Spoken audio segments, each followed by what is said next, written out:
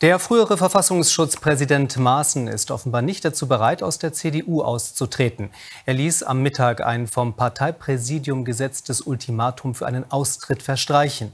Damit rückt ein Ausschlussverfahren näher. Der Bundesvorstand will sich nun am 13. Februar mit dem Fall befassen.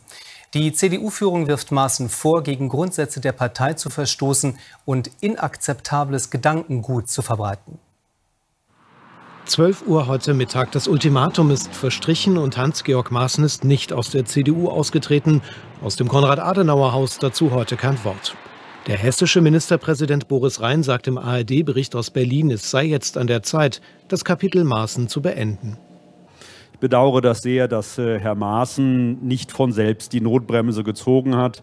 Äh, Herr äh, Maaßen hat in der Tat Dinge gesagt, die überhaupt nicht übereinpassen mit den Werten der CDU. Maaßen hatte von einer rot-grünen Rassenlehre gesprochen und vom Rassismus gegen einheimische Deutsche. Hans-Georg Maaßen sagte zuletzt, er habe sich nichts zu Schulden kommen lassen. Heute äußert er sich per Tweet vier Minuten vor Ablauf des Ultimatums schreibt von einer Schmutzkampagne und Gegenwind, der Auftrieb gebe.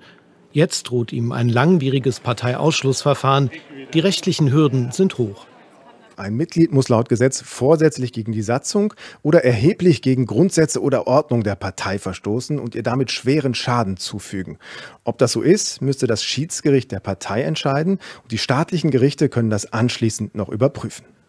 Maßen aus der CDU ausschließen. Nicht alle in der Parteispitze sind überzeugt. Der stellvertretende Parteichef Kretschmer ist in einem Podcast am Donnerstag zurückhaltend. Und ich finde, miteinander einen Diskurs zu führen und deutlich zu machen, das ist nicht die Meinung der Union, dafür steht sie nicht, ist viel wertvoller. Die CDU wird Hans-Georg Maaßen nicht so einfach los, auch nicht die Debatte, wie sie sich nach rechts außen abgrenzen will. Bis Donnerstag hat Maaßen nun Zeit, sich schriftlich zu erklären. Danach bespricht sich der Bundesvorstand erneut.